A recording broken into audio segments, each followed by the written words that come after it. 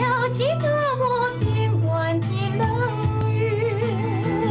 他一头念着华夏儿女的心房。都说长城内外百花香，你知歌道为心声几经风盲人歌手周冬梅的眼前展现的是一个桃红的世界。我感到他的手触摸到的是春天，因为他的心里永远是亮的。万里山河一轮红太阳。新生活的开始，延伸互保，沈阳飞。百一十二点零度，预计台风中心将于今天夜间到明天早晨，在海南的三亚到琼海一带沿海登陆，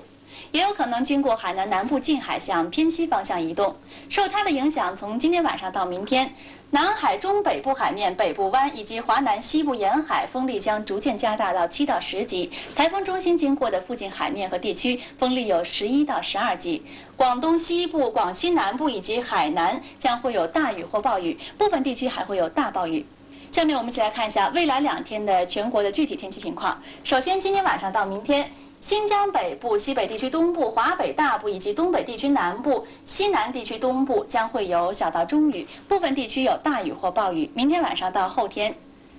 新疆北部、华北北部和东部、东北地区东部和南部、西南地区东部和华南西部有小到中雨，其中华南西部和云南东部的部分地区有大雨或暴雨。下面请您收看城市天气预报。对极个别无视法律、严重侵犯记者合法权益的违法人员依法进行惩处。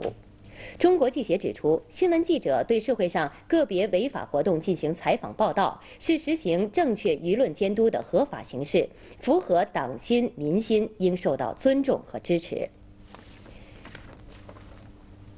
昨天上午八点，南京长江大桥铁路桥线路设备大修正式开始。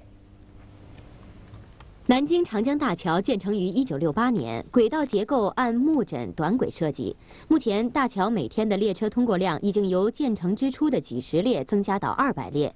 随着列车速度的提高和载重量的增加，南京长江大桥110公里的限制时速已不能适应提速的要求。上海铁路局决定投资1400多万元，对大桥线路设备进行更新改造。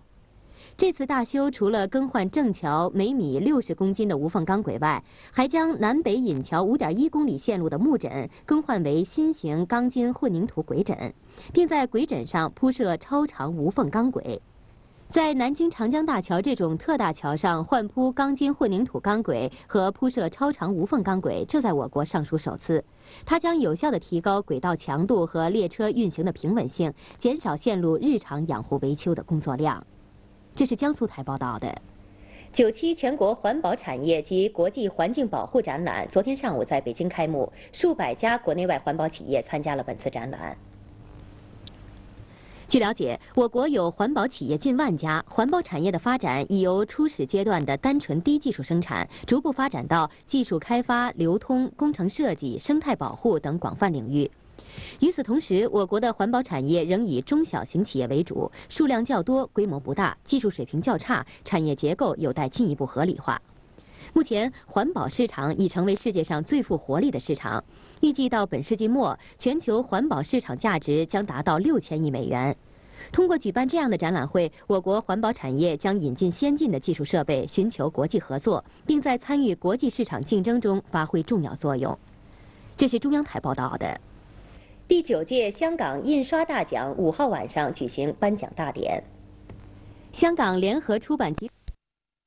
赛中，中国队发挥正常，开场仅三分多钟就由十号刘爱玲禁区外远射率先破门，随后刘爱玲、范运杰又为中国队再添两分。在其他场次比赛中，中国香港队以零比三不敌印度队，中国台北队一比零小胜韩国队，菲律宾队一比二不敌乌兹别克斯坦队。本次比赛共有十一支队伍参加，将于本月十四号结束。获得前三名的球队，适时适度调理得当，以最佳状态投入复兴才是至关重要的。这是齐鲁台报道的。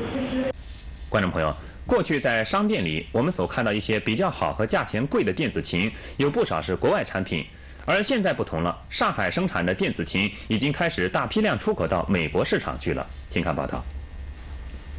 最近，世界著名跨国企业美国无线电公司专程到上海无线电二十一厂订购了十二万八千台由上海生产的电子琴，这是沪产电子琴首次大批量进入美国市场。近八年来，上午二十一厂在国内同行进行激烈竞争的情况下，把产品开发的着眼点放到了国际市场，想方设法满足外商需要，从而赢得了好评。这家厂自1989年电子琴成批出口德国后，产量逐步递增。去年这家厂的电子琴出口量达到5万台，预计今年电子琴的出口量将突破15万台。这是上海台的报道。我国最大的一株魔芋花最近经植物界的专家鉴定，这是我国极为罕见的魔芋花王。请看报道。今年四月下旬，贵州省天龙。汉南京以及全国各地一批又一批的青年学生，怀着到边疆去、到祖国最需要的地方去的崇高理想和雄心壮志，云集到这里，为保卫边疆、建设边疆做出了巨大贡献。请看报道。新疆和平解放时，十几万面临缺粮窘境的人民解放军，根据毛泽东主席的命令，挺进大漠，铸剑为犁，披荆斩棘，艰苦创业，开始了屯垦戍边的历程。他们硬是在风沙、干旱、风暴、盐碱十分严重的恶劣环境下，陆续在两千多公里的边境线上建起了五十八个边境农场。一九九五年，新疆生产建设兵团的国内生产总值达到一百二十亿元，农业总产值为一百零四亿元，棉花总产量达到三十八万一千九百吨，位居全国各省区第七位。今天，新疆工农业总产值的百分之十九点七是兵团创造的。新疆粮食产量的百分之十九点九，油料产量的百分之三十，棉花产量的百分之四十一点三，甜菜产量的百分之四十四点五，出口创汇的百分之三十三点五出自兵团。四十多年来，一代又一代的兵团人为边疆的繁荣和社会稳定做出了卓越的贡献。在阿尔泰山深处的农十师幺八五团与哈萨克斯坦合界，我们见到了五八年从部队转业的山东籍农垦战士张玉芝。他说。咋咋不哭呢？这个地方这个地方，你看这个这环境这么恶劣啊！说是我没到地方，感觉一一来的时候，感觉心里真不是个味儿的。慢慢的嘛，也就习惯过来了，真是感觉还不错，安下心来。这个地方真有个在这个地方，这个边大比这个边界线这个大门就有人看吧。这是中央台和新疆台报道的。国家经贸委主任王忠宇今天宣布，国家经贸委决定在全国范围内大力开展技术创新工作，并组织实施技术创新工程。请看报道。据介绍，国家经贸委组织实施的这项工程，是在产学研联合开发工程的基础上，进一步促进企业发展、协调配套的推进“三改一加强”工作，落实两个根本转变的重要举措。工程的核心是鼓励企业大力研究开发新技术、生产新产品，从而提高企业的技术档次、市场竞争力和经济效益。九五期间，此项工程将在大中城市一千户国有大中型企业和企业集团中推广，其中三百户企业将建立技术中。手都给划流血了。在群众最关心的干部任用问题上，孙庆礼始终坚持任人唯贤、公道正派的原则，要让德才兼备的老实人不吃亏，让犯过错误又改正的同志抬起头。某场站原油料股股长张代华因管理不严导致油库失火，受到处分，一度消沉。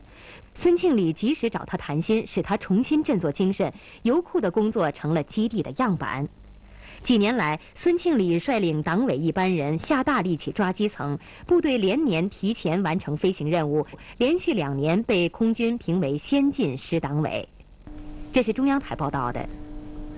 本台消息，由解放军总政治部组织编写的反映人民军队优良传统、介绍士兵立身做人基本道理的政治教材《士兵政治常识读本》，已由解放军出版社出版发行，近日正陆续发往全军部队。全国人大常委会关于加强社会治安综合治理的决定执法检查组今天上午在人民大会堂举行第一次全体会议。请看报道。李希明副委员长出席会议并讲话。会议首先听取了中央社会治安综合治理委员会副秘书长陈继平、公安部副部长李继周、最高人民检察院副检察长张琼、最高人民法院副院长谢安山关于加强社会治安综合治理的决定实施情况的介绍和汇报。李新明副委员长在讲话中指出，全国人大常委会作出的关于加强社会治安综合治理的决定已经颁布五周年了。五年的实践证明，社会治安综合治理是党中央总结改革开放以来的实践经验提出的正确方针，是解决我国社会治安问题的根本出路。五年来，各地抓社会治安综合治理工作取得了很大的成绩，创造了许多成功的经验，但也。